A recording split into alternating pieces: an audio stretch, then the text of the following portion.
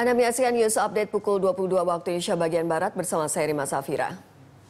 Ribuan buruh di kawasan industri Bukit Indah Purwakarta, Jawa Barat, Rabu siang mogok kerja dengan mengepung pabrik PT Indofood CPB sukses makmur. Akibatnya aktivitas pabrik lumpuh.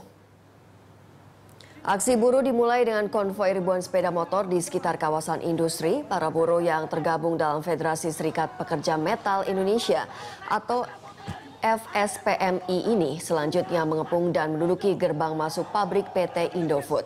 Dalam orasinya, buruh mendesak agar manajemen pabrik bersedia membuka dialog bipartit terkait kenaikan upah yang dituntut para buruh. Pasalnya sikap manajemen pabrik yang memukul rata kenaikan upah hanya sebesar Rp93.000 per bulan. Hal itu dinilai tidak adil bagi buruh yang telah bekerja lebih dari 10 tahun. Sementara itu pihak manajemen pabrik belum memberikan tanggapan terkait tuntutan buruh. Aksi ini mendapat pengawalan ketat puluhan polisi dibantu aparat TNI.